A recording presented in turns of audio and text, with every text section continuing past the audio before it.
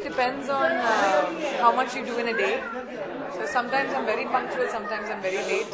But my days are usually packed by at least two, three things. So अगर एक चीज late हो जाती है तो बाकी सब late हो जाते हैं. So it's really how you start your day is important. That's very important. I think backless is something which has always uh, survived for Indian women, especially because of our blouses, and I think it looks very nice. But it's finished now, and we're going to be launching the trailer very soon on the second, I think, and uh, it will release in September. Krrish is almost done.